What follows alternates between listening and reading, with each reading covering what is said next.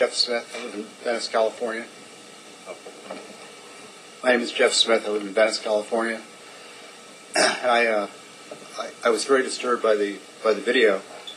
Um, I have dogs of my own, and I, I have a lot of experience with dogs. And I I've seen. I watched the video. I I know the officer could have taken other. There are other options the officer had besides killing the animal. I've seen how, how effective pepper spray is.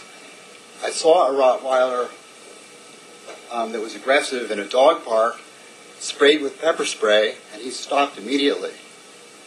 It was very, it was, it was 100% effective.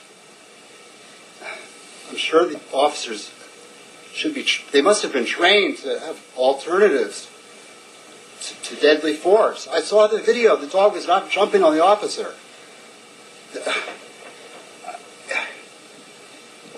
Anyway, I, I, I know that there were other options that the officer had. If he was properly trained, he would have taken a different course of action.